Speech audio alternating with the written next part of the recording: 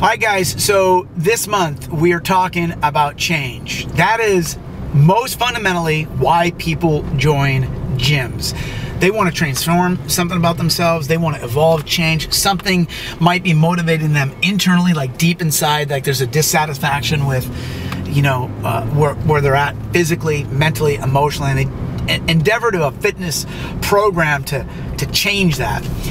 So the second part of, of change is if assuming that you're motivated internally and or externally is the behaviors. The behaviors got to be somewhat consistent. And we all know that and that's clearly obvious. Like okay, well, do you want change? Do your behaviors and your consistency and adherence to a program help to support the change that you seek? Yes or no? That's a sort of binary black and white question. It gets a little bit more complicated when you start thinking about, okay, what are the other things in addition to adherence? Well, you got to have good relationships, people that support the change that you're seeking. And this, good people, is why I've spent so much money and so much time and the staff has been busting ass to develop themselves the last couple years. We have a staff that supports our clients with an average of 11.2 years of coaching experience per full-time coach. Now my guess is that there aren't many environments that have that depth of coaching experience. Now, whether our clients relate to that, you utilize that, um, and get the full value of it is a whole nother question. And it's one of the purposes of this month's chalk bucket. Like we have really evolved the value system at the gym from quote elite fitness to supporting long-term sustainable growth.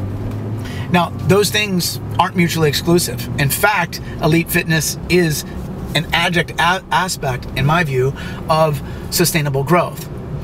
But goals and motivations evolve and change. Assuming that you're somewhat different than you were in 2015 or 2011, I'm assuming that that has that statement has some resonance. And if the goals are the same, probably means we haven't uh, moved the needle on any of them.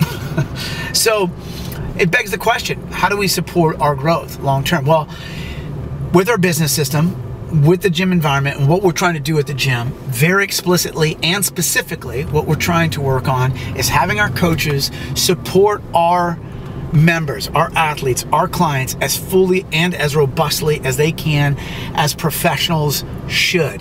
The full value of our coaching system is utilizing this breadth and depth of experience. So, change doesn't happen because you're motivated to do it, and it doesn't happen just because your behaviors line up. Over time, people have to relate to you in a way that supports the change. Over time, that can be done with coaching support. It can be done with friendship support. It can be done with familial support.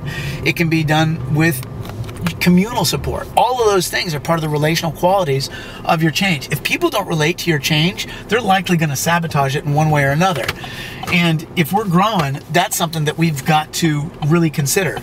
Lastly, if you if you're not in a culture that doesn't help you support your evolution as a human and your growth as a human, it might be wise to consider you know that environment as a whole because does it support the things that are important to you? And in the end what i'm looking for is a business that understands the natural evolution of a person.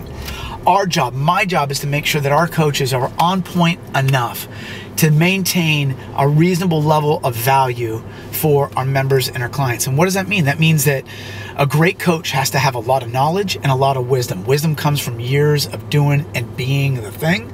Knowledge comes from conti- continually seeking to, to better yourself with, with new information as it comes. And we do that habitually. Um, we do that collectively as a group, and we do that um, with.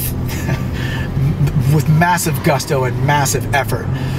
So, whether it be all the certifications, the the, the breadth information that we've been taking in the last couple of years, um, how to apply that, um, the evolution in our product development, whether it's the run classes, the breathing classes, the yoga classes, the mobility classes, whatever it is, those are just adjunct aspects of the value that we're trying to deliver.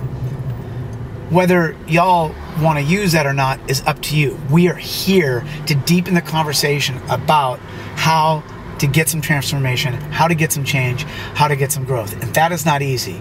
It doesn't just require, like I said, proper motivation and behaviors. It requires good relationships and it requires a system of support. Our job is to relate to your change. Our job is to provide a system that supports your evolution, not just physically, but mentally and emotionally. And yes, I know that that can sound massively esoteric, but we are on the, the west side. And why shouldn't it be that we sound esoteric? And all joking aside, why shouldn't your physical program be something that's more than just physical? Why shouldn't it be something that's mental and emotional as well? And that is a more complex conversation. That requires great coaching. That requires a very advanced community, which I know and believe we have. I love all you, coaches included. That's it. Peace. Happy July.